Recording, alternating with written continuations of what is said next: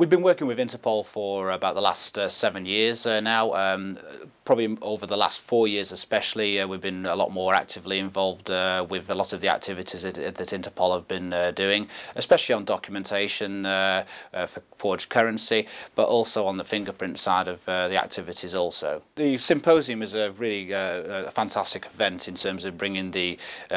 industry experts together from various countries and an opportunity to kind of share uh, information, share strategies, uh, but also to uh, have the opportunity from our position to uh, share some of the new and latest innovations in uh, forensic science and uh, uh, and we have a lot of new